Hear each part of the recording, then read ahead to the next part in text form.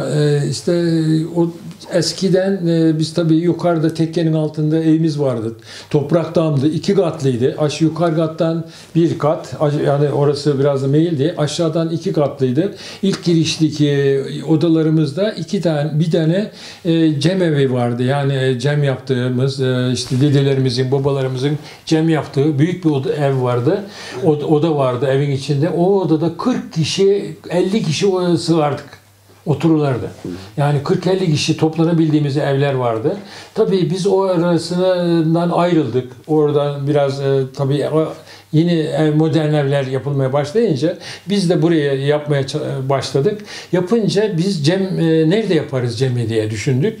E, en son buraya e, cem olaraktan e, önceden de aklımıza koyduk. Yani e, yukarıya otururuz, aşağıya da yaparız e, genişçe diye. Burayı yaparken de ta o zamandan ayarladık, e, koyduk. Ve burası da böylece e, oradan yukarı evden geldiğimiz e, büyük odalarımız e, toplandığımız, e, cem yaptığımız evlere benzer bir evi de burada e, yeni evimizde de oluşturduk. Her dedenin aşağı yukarı e, böyle bir alt katında e, ama büyük ama küçük bir e, odası, bir cem yaptığı bir genişçe bir odası var. Yani bir, öbür dedelerimizin de var. Mehmet Turan dedemin de var. Bodrum, evinde Bodrum'unda. Yukarıda Hüs- Hüseyin, Mehmet dedem var. Gökdide diyoruz. Onların var. Onların da Bodrum'unda. Yani fakir babam da burayı böyle bir şey düşünmüştü. Sağlığında yapmıştı babam da. İşte babam haka yürüyünce biz de burada cemimizi yapıyoruz. Aşuremizin e, şeyini e, burada yapıyoruz. Yetmiyor ama gönül sığıyor. Biz de tartışıyoruz. Gerçekten e, dünya e, meşakkati, e, olayları, e, dünyanın gidişini, e, hatta Türkiye'nin dışındaki olayları bile e, gündeme getiriyoruz, tartışıyoruz. Yani t- bizde muhabbet var, e, işte hesap sorma var, mahkeme var. Cem, cem yaptık e, canlarımızla, İzmir'de bulunan canlarımızla. E, Fakir de orada dideydim. E, iki sefer şey geldi böyle haber geldi. 12'de kapatacaklar dedim. Ona göre sıkıştır diye. Mesela hemen iki nefes bir dava söyleyip söyleyip hemen işi bağlamak zorunda kaldık. Yani muhabbete geçse e, 12'ye sığmayacak. Zaten hizmetlerimizi görüyoruz biliyoruz derken bir buçuk iki saatimizi aldı. Yani ama evlerimizde yapılan şeyi ikiye kadar, üçe kadar e, bazen öyle bir hele bir çocukluğumda babam zamanında buradan e, Cem'den dağılırken sabah ezan okunurdu. Yani sabahlara kadar muhabbetler sürerdi. Kimse yani hiç e, bir rahatsızlık da duymazdı yani. O muhabbet öyle akıyor ki yani işte e, senin e, gidesin gelmiyor yani bırakıp şey edemiyorsun.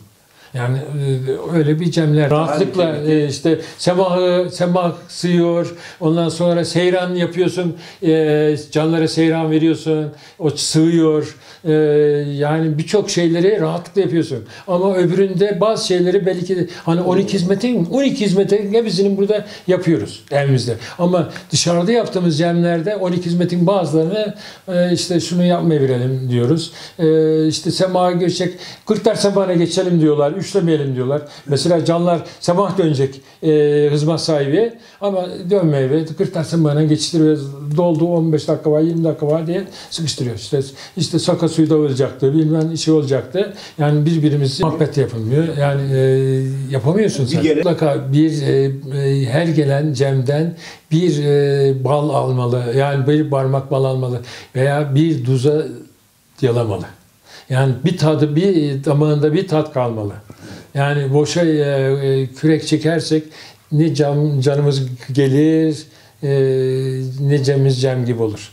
Ben hani e, öğretmenim ya. e, emin ol bir, bir hafta cem olacak ya. E, işte kitapları 5-6 kitap alıyorum. E, işte şunu alıyorum falan. Aa diyorum ben bunu bu hafta şunu işleyeyim diyorum. E, yani işte mutlaka bir kendime bir şey bulmaya çalışıyorum. İşte Nuh'un gemisini dört kapı kırk makam diyorum. İşte e, hakkı, hakkı yürüme ilgili e, şeyleri anlatmaya çalışıyorum. Yani e, Bayağı defter gibi kağıda yazıyorum, şey yapıyorum falan. Yani mutlaka bir e, orada anlatacağım bir şey olmalı. Bir programa mutlaka işlenmedik o cemde o programı işlemeye çalışıyorum. Yani o mutlaka yeni gelenler vardır, ilk defa girenler vardır. O insanlar yani ben şuna bir şey duydum ama ne güzel bir şey anlattı desin diye kendime böyle sorun, kendi kendimi sorumlu hissederim.